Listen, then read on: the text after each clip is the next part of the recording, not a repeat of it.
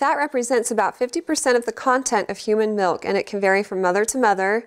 Um, the content increases the longer you've been nursing your baby. It can vary at different times of the day, and actually, the fat content gets higher um, as the feeding goes on. So you, you asked a good question. You want to know what you can do to make your breast milk more fattening.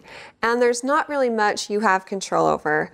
Some women think if they eat fattier foods, their milk will be more fatty, and that's not necessarily the case. Studies have shown that there is a correlation between maternal fat stores and the fat content of their breast milk, but not necessarily their diet.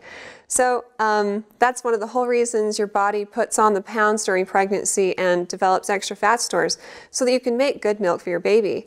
And um, you know, if you're having questions or problems with breastfeeding, you're wondering if your milk is adequate for your baby, be sure to talk to the pediatrician and they can, you know, track your baby's growth, assess your baby in person and decide if there's a different plan that needs to be, if there's a different approach that needs to be taken or if things are going well. If you have any other questions for me, feel free to ask them on our Facebook page and recommend us to your friends and family too.